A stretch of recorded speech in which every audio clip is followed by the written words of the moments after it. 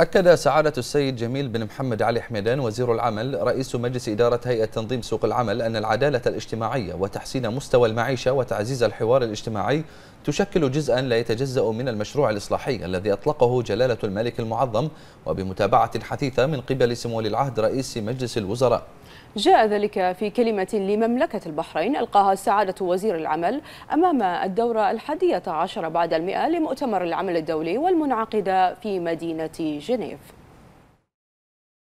حضرات السيدات والسادة تشكل العدالة الاجتماعية وتحسين مستوى المعيشة وتعزيز الحوار الاجتماعي جزءا لا يتجزأ من المشروع الإصلاحي الذي أطلقه حضرة صاحب الجلالة الملك حمد بن عيسى آل خليفة عاهل البلاد المعظم حفظه الله ورعاه.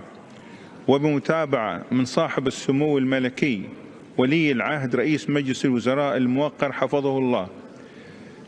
ويعكس دستور مملكة البحرين المبادئ السامية للعدالة الاجتماعية الهادفة إلى تحقيق أرقى مستويات التكافل الاجتماعي والمساواة وتوفير المستوى المعيشي اللائق للمواطنين.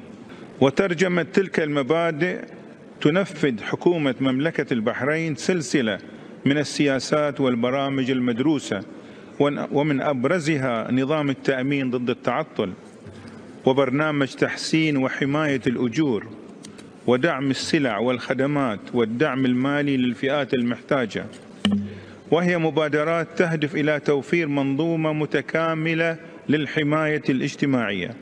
فضلا عن مبادراتها الشاملة لمكافحة التمييز في العمل والحد من العمل الجبري والاتجار بالبشر كما تعتز بتجربتها في مجال تعزيز الحريات النقابية وما حققته من مستويات متقدمة من التعاون بين الشركاء الاجتماعيين وفق مبادئ الحوار البناء الهادف إلى حماية حقوق العمال وأصحاب العمل على حد سواء.